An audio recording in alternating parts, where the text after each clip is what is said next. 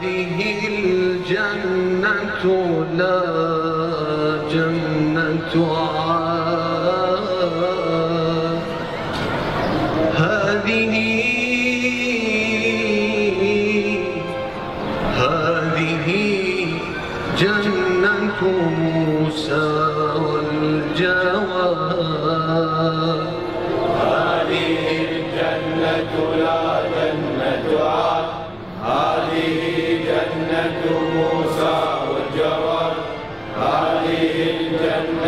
لا جنة عاد هذه جنة موسى والجواد أزمت للمؤمنين المتقين فادخلوها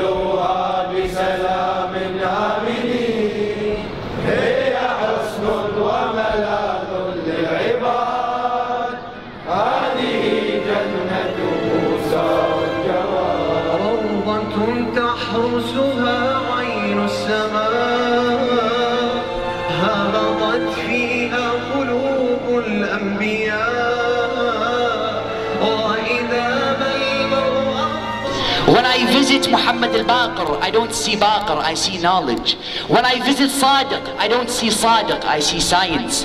When I visit Kadhim, I don't see Kadhim, I see patience.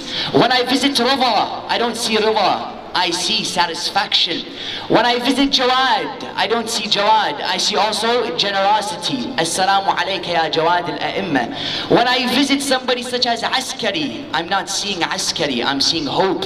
And when I visit Sahib al-Zaman, I'm not seeing a human being, I'm seeing the manifestation of justice under the globe and on the earth of Allah subhanahu wa ta'ala.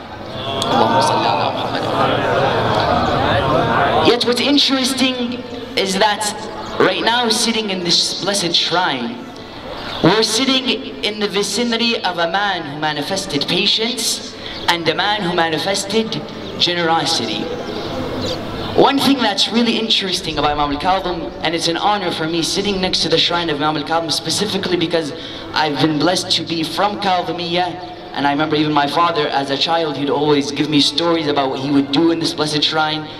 Yet what's interesting is that Imam al-Kadhim alayhi salam, he manifested patience, but not only patience, patience under torture. You see, there's one thing if you're patient, it's another thing if you're patient under torture.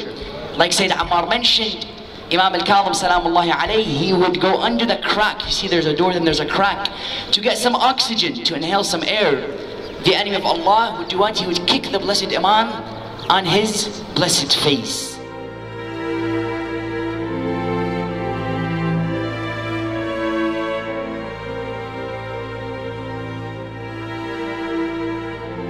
Yet I ask you, يا مؤمنين, Imam al-Kadhim had next to his companions.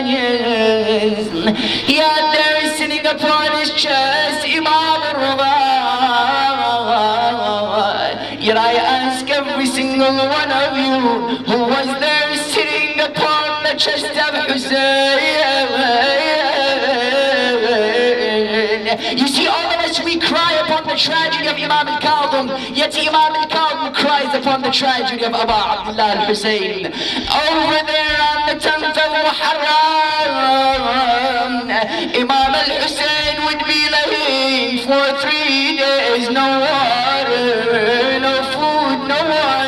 to protect him. Yet something that's interesting is that Imam al-Kadhim was known to manifest patience. Yet there was a lady there who was known as the of patience. When we visit Zainab salamullahi alayha, what do we say? We say assalamu alayki ya jabal al-sabr. We say peace be upon you, O the mountain of patience. Zainab alayhi salam would be passing by blessed dividing.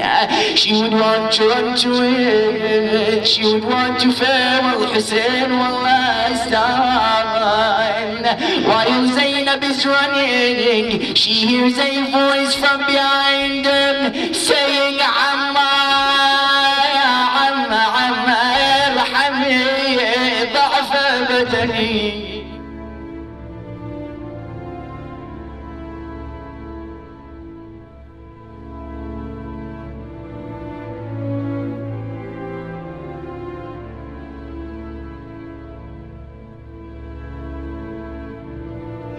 وبركاته. أشهد أنك قد بلغت عن الله ما حملك وحفظ ما استودعك وحللت حلال الله وحرمت حرام الله. وأقمت أحكام الله وتلاوت كتاب الله.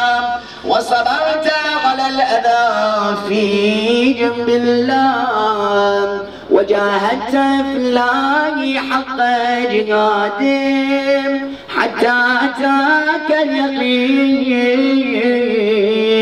وأشهد أنك مضيت على ما مضى عليه آباؤك الطاهرون.